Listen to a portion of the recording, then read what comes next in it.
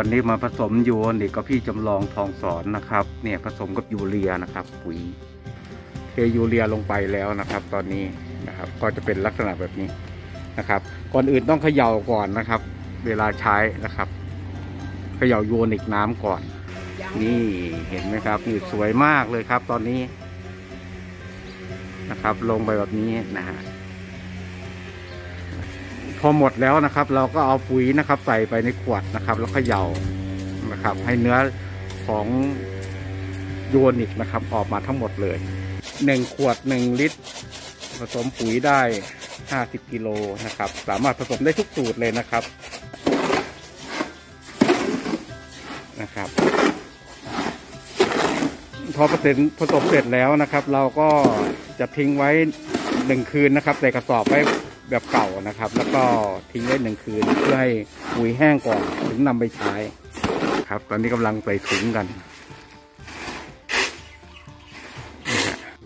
นะครับวิธีผสมนะครับ ก็ลองผสมถ้าเป็นน้ำนะครับ ถ้าเป็นถัง 20 ลิตรนะครับ เราก็ใช้ปุ๋ยที่ 50ถึง100 กรัมได้เลยนะครับ แต่ว่าอยู่ที่ขนาดของต้นพืชนะครับ ครับเดี๋ยวเรามาลงแปลงจริงนะครับ ระหว่างเราใช้ปุ๋ยยูเรียนะครับ บวกด้วยตัวยูนิคนะครับของพี่จำลองกับพี่ทองนะครับทองสอดนะครับอยู่ที่อำเภอปากช่องนะครับ ตอนนี้นะฮะก็ฉีดเป็นครั้งที่สองนะครับมันประมาณสักสองถึงสามเดือนก็กระสอบหนึ่งเนี่ยผสมยูนิคแล้วเนี่ยเราจะใช้สิบไร่นะครับ ต่อกระสอบนะครับนะครับอ่าเรามาดูการฉีดนะครับโอเคครับนะครับเดี๋ยวพี่จำลองฉีดเลยครับตัวนี้อ่านะครับฉีดลงโคนเลยนะครับตัวนี้นะฮะ ฉีดลงโคนต้นเลยนะฮะครับตัวนี้นะฮะฉีดง่ายนะครับฉีดง่าย ถ้ามันตะหลังอายุขนาดนี้นะครับสองถึงสามเดือนเนี่ยนะครับ นอกจากเราจะใช้ปุ๋ยยูเรียได้แล้วนะครับ เราก็สามารถที่จะใช้ปุ๋ยสูตรยี่ห้าเจ็ดเจ็ดนะครับได้ เพราะเราเร่งต้นเร่งใบก่อนนะครับ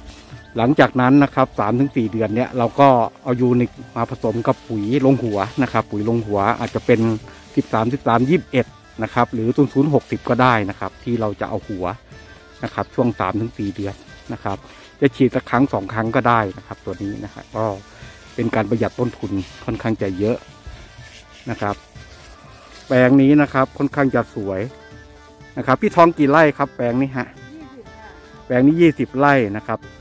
นะครับ ใช้ได้เหมือนกันหมดเลย เวลาฉีดลงโคนเห็นไหมฮะต้นใหญ่ๆนะครับอวบตัวนี้ นะครับนี่ฮะต้นจะใหญ่มากนะครับนี่ฮะเราสามารถขีดป่าแรงได้เลยนะครับ ขีดป่าแรงได้เลยนะครับ ตัวนี้ไม่มีปัญหานะครับ ถือว่าการให้น้ำทั้งดินไปในตัวนะครับ โอเคครับผม